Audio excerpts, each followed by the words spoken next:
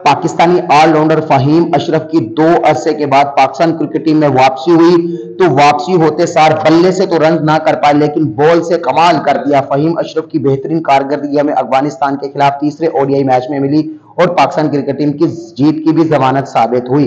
तो वीडियो की तफसील में जाने से पहले आप लोगों से रिक्वेस्ट है कि जिन हजरात ने चैनल को सब्सक्राइब नहीं किया, वो चैनल को सब्सक्राइब कर ले और जिन दोस्तों ने फेसबुक पर फॉलो नहीं किया, वो फेसबुक पर भी फॉलो कर लीजिए। पाकिस्तान क्रिकेट टीम के कप्तान बाबर आज़म ने टॉस जीतकर बैटिंग का फैसला किया। तो पाकिस्तान क्रिकेट टीम के जो ओपनर बैट्समैन में जल्द आउट हो गए। उसके बाद बाबर आज़म और मोहम्मद रिजवान की बेहतरीन इनिंग खेली और लोअर मिडिल ऑर्डर पर लोअर ऑर्डर पर मोहम्मद नवाज़ और सुलेमान अली आगा ने बेहतरीन बैटिंग करते हुए मुकर्रा 50 ओवर में 270 रन तक स्कोर कर दिया।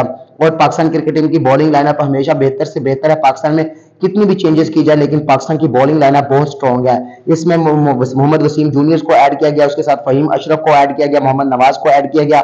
पाकिस्तान के बॉलर्स को रेस्ट दिया गया, लेकिन फिर भी पाकिस्तान क्रिकेट टीम ने बासठ रन से मैच फतह हासिल कर इस मैच में फतह हासिल कर ली। इसमें फहीम अशरफ की बेहतरीन कारकर्दगी हमें देखने को मिली।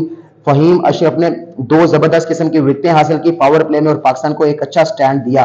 फहीम अशरफ ने अपने सात ओवर में तरतालीस रन देकर दो खिलाड़ियों को आउट किया और बैट से वो रन ना कर पाए, लेकिन बॉल से उन्होंने बेहतरीन अंदाज से बॉलिंग की। फहीम अशरफ की इस कारकर्दगी से आप कितने मुतमिन हैं, कितने खुश हैं? अपनी राय का इजहार आप कमेंट बॉक्स में कर सकते हैं। मिलते हैं नई आने वाली नई वीडियो में। अल्लाह हाफिज़।